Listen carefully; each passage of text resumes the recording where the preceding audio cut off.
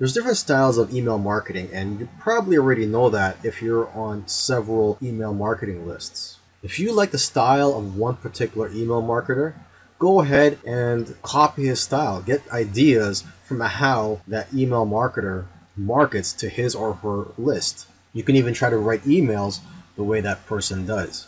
Now, some people like to focus on relationship building with their email marketing, while some people just want to email offers. So the style that you choose depends on many factors. It could depend on your niche, it could depend on your personality, your business plan, and your goals. But I recommend you choose a style that you're most comfortable with, and what you're comfortable with will change over time. So your style of email marketing will change over time as you gain more experience.